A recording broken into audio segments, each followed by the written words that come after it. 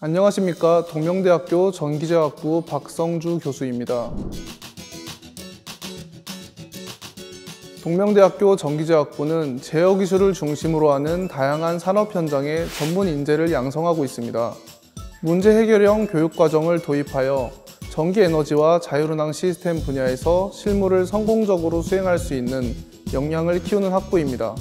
또한 다양한 기업들과 취업 약정 및 국내외 명문 대학교와의 학석사 연계 과정 프로그램을 통해 재학생의 진로 지도 프로그램을 특성화하고 있습니다. 전기제학부에서는 공학도로서 갖추어야 할 의사 표현 능력과 협업 능력, 그리고 공학 지식의 습득을 통한 문제 해결 능력을 배울 수 있습니다.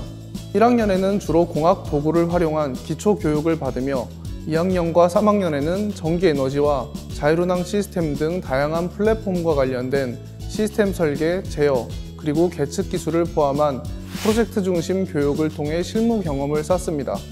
4학년에는 실무 능력을 기반으로 제품 개발 프로젝트, 산업체 인턴십 기회를 통해 나만의 포트폴리오를 완성할 수 있습니다.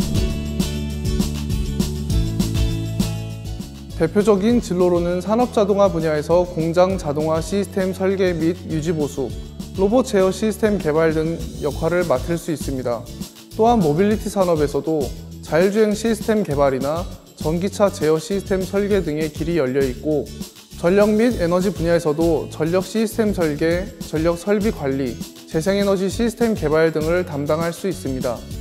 연구 및 개발 분야에서는 연구소나 대학원에서 지속적인 연구와 학업을 이어나갈 수 있으며 그리고 공공기관 및 공기업에서도 에너지 관련 공기업 등에서 일할 수 있는 기회가 있습니다. 전기제와 학부와 함께 여러분의 대학 생활이 의미 있고 보람찬 시간이 되시길 바랍니다. 감사합니다.